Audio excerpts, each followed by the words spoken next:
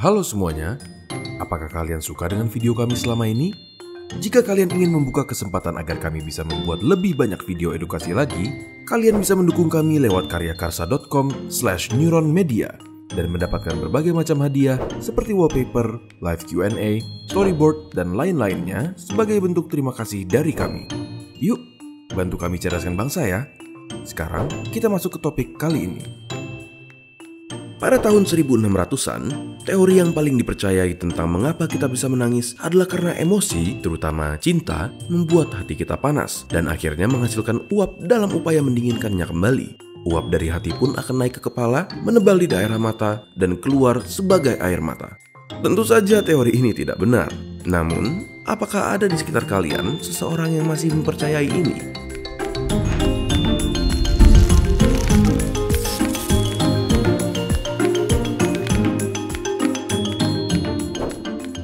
Jenis air mata yang kita produksi ada tiga, yaitu air mata basal, refleks, dan psikis. Air mata basal adalah air mata yang menjaga agar kornea kita selalu terlubrikasi, sehingga mata kita tidak kering. Air mata refleks adalah air mata yang membantu kita mencuci mata dari iritasi akibat partikel-partikel asing ataupun uap, seperti dari bawang misalnya.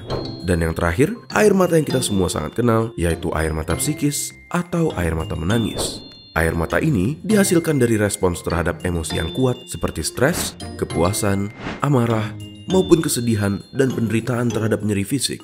Air mata psikis mengandung painkiller atau anti nyeri yang natural yang bernama leucin enkephalin, yang kemungkinan adalah alasan dibalik mengapa kita merasa lebih baik setelah menangis. Dengan stimulus emosional, seperti saat kita putus dengan pacar, air mata akan mulai diproduksi, sesuatu yang bernama lacrimal system yang berada di sekitar bola mata kita adalah sistem sekretorik yang menghasilkan air mata sekaligus sistem ekskretorik yang mengurasnya. Di saat air mata diproduksi oleh kelenjar lakrimal yang berada di antara bola mata dan kelopak mata kita, kita akan mengedipkan mata secara otomatis, membuat air mata yang diproduksi menyebar ke seluruh permukaan mata kita seperti lapisan kaca.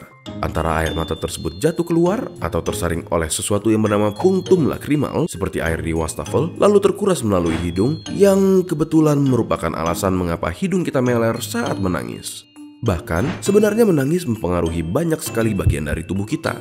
Saat menangis, detak jantung kita akan meningkat, kita akan berkeringat, nafas kita akan menjadi pelan, dan kita akan merasa seperti ada gumpalan di tenggorokan kita yang disebut sebagai globus sensation. Ini semua terjadi akibat sistem saraf simpatik yang teraktivasi karena respon dari situasi yang emosional.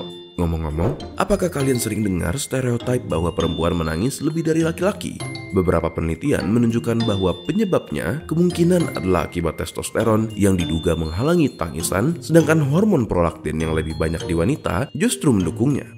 Bagaimana? Menarik bukan? Bagikan video ini ke teman-teman kalian yang sering menangis dan jangan lupa subscribe untuk mendukung keberlangsungan channel ini. Jika ada pertanyaan yang kalian ingin kami bahas, kalian bisa tulis di kolom komentar untuk kami lihat. Terima kasih dan sampai ketemu di video berikutnya.